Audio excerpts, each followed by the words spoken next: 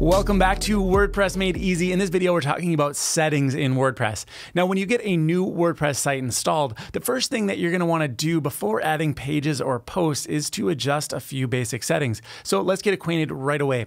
From the sidebar, choose Settings and then select General. On the screen, you can change the name of your site as well as give it a tagline that'll show up in your tab if you have any room left over after your site name. Now, I'll typically leave everything else here at default with the one exception being setting the time zone. This way, any posts that you release will have the correct time on them. And it's also important for things like emails that go out. All right, next let's head over to settings and then choose reading.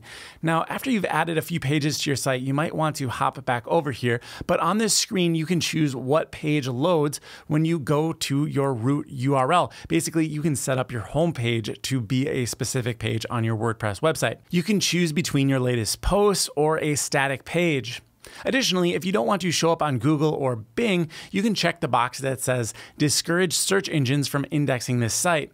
Sometimes I'll do this for sites that are still in development so that they're not prematurely revealed by a sneaky Google search. Next, let's talk about permalinks or the structure that your site is using when it's naming each individual page on your URLs.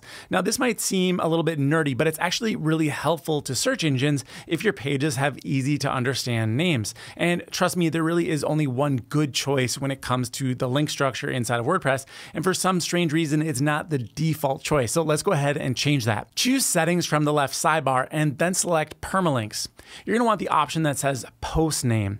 Click the radio button next to it and then scroll down to the bottom of the page and click save changes. Next, let's update one of the URLs or the slug of a post that we created in a previous video. Click on post and then choose edit next to our post. Now, if you click on the post title, a smaller box is gonna appear that says permalink. And here we can edit the permalink or the slug. It's kind of a common name for for it to be whatever we like. It's best to keep it short and descriptive, and then you just want to remove words like the, and, or uh. Well, that's it. There's not many settings that you need to do when you're getting going with a WordPress website, but these are some of the essential ones to know about. I'll see you in the next video where we talk about themes inside of WordPress. Stay tuned.